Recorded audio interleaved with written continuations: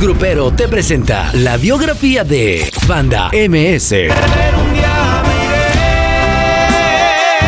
Juventud, versatilidad, explosividad y talento son las palabras exactas para definir Banda MS.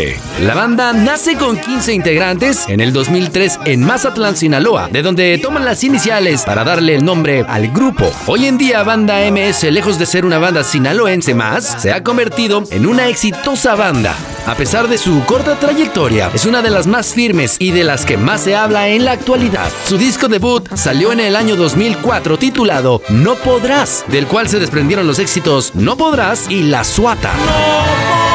De la producción Escuela de Rancho brilló el tema El Mechón, la cual se convirtió en todo un suceso en México y Estados Unidos. Los trajes de los integrantes llevan números cuyo significado es personal, día de cumpleaños, nacimiento de un hijo, algún aniversario, etc.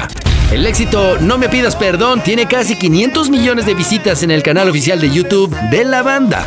Hermosa experiencia en el 2015 y solo converte en el 2017 ganaron el premio Billboard de la música latina como canciones del año. De manera impresionante, en el 2015, 2016 y 2017 la banda ganó el premio Billboard de la música latina en la categoría Artista del Año. Su nuevo sencillo Las cosas no se hacen así se perfila ser otro memorable éxito en la trayectoria de la banda. Este 2017, con tres fechas en el Auditorio Nacional, Banda MS deja en claro que son la mejor banda de la actualidad. Saps Grupero. Si no está en Saps Grupero, seguro no ha sucedido.